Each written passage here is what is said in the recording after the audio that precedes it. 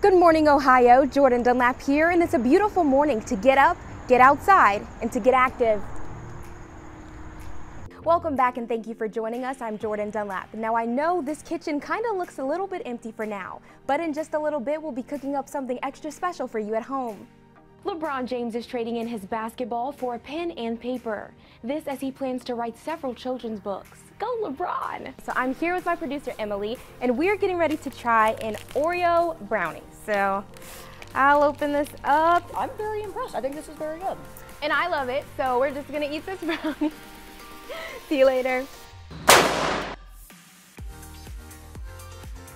Today is National Coffee Day, so of course I'm here in the office and I am getting my drink on. The world-renowned Buckeyes have officially released a new schedule in the event that there should be a season. And the Buckeyes will now play that team up north in week 8 of the season.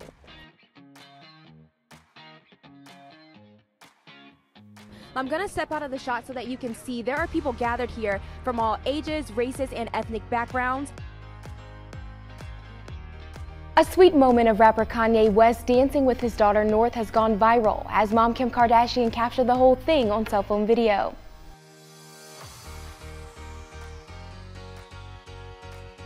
It's bring your favorite book to work day. So here on This Morning, I have a book called She is Free. Jordyn Dunlap here for Ohio 24-7 now, and grab your wallets because it's time to talk money. Now, unfortunately, we know that many people lost their jobs due to the pandemic. And in light of this, millennial entrepreneurs are sharing their secrets of how to keep generating income even when businesses shut down. This week, I spoke with one of those entrepreneurs, Brian White, who is a business owner, husband, and father. And he says one of the truest keys to entrepreneurship is becoming a problem solver. Yeah, I think the biggest thing really is for millennials or people in our age group to really look at different ways they can, solve problems. I think with COVID 19, there's a lot of new problems that have arisen that need solutions. While some may be looking to branch out and start that new business, Mr. White says do everything around your day job. I always tell people don't quit your job. So if you're just you know, tiptoeing into entrepreneurship. Keep your nine to five and find things you can do around your schedule. Um, start that, they call it the, you know, 5 p.m. to 9 p.m. schedule. Additionally, he adds that in the world we're in today, entrepreneurship is becoming a necessity. He also encouraged those who may be interested in taking that route to look at what you're already interested in and find ways to generate income through those things. I'm Jordyn Dunlap for Ohio 24 7 Now. While Black History Month was established back in 1926, history makers are continuing to be cultivated every day. This week, I sat down with a local pastor and a community leader who are both making major impacts throughout the city.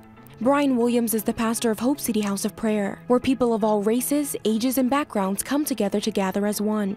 Pastor Brian says when hearing the term black history, he thinks of the importance of world history as a whole. So often when we think of black history, we limit it to just the accomplishments of black people, how it's affected black people, but really uh, the history of our people as a people in America has affected change throughout the world. In addition to weekly services, Hope City has a ministry called Justice Talks that has already left a historic mark on the city of Columbus. With Justice Talks, which is an organization we started to hold community conversations around justice issues from a, from a biblical standpoint, uh, we've always just sought to make an impact in our city, mm-hmm. and people from all over Columbus have come. We've talked about different things such as criminal justice reform, we've talked mm-hmm. about the opiate crisis, pretty much anything that's affecting the community. While Pastor Brian and Hope City are leaving such a historic legacy, Lauren Smith is another world changer who just so happens to be the marketing chair for the Columbus Urban League. She says that part of her legacy is building and sustaining black owned businesses. This is my legacy to help build the black dollar, to help build sustainable black businesses, to help us uh, get to a place where we're just like, yeah. we're booming. Along with her position at the Urban League, Lauren helps run Urban Accelerator X, which focuses on providing resources, education, and funding for urban entrepreneurs. Both Pastor Brian and Lauren agree that before we can know where we're headed, we must first know where we've been. They stress the importance of education and how Black History is more than a celebratory month, but rather a lifestyle.